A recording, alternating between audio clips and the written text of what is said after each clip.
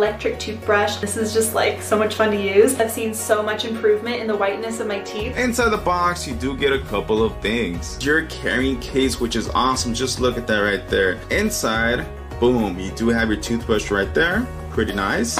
On the side of the carrying case, you do get a USB port so you can actually charge it on the go. Next thing we have is another brush head, so you do get two in total. My favorite item inside the box has to be the dock station. Comes with this right here with a plug, and then you sit the cup right on top, and then you just put the toothbrush in. This doesn't attach to anything, it just sits right here and it charges, which is incredible to me. I've never seen anything like that. It makes my mouth feel really good and clean, and it has a bunch of different settings, including cleaning, whitening, sensitive gum care, and deep cleaning. You literally turn it on and start to brush.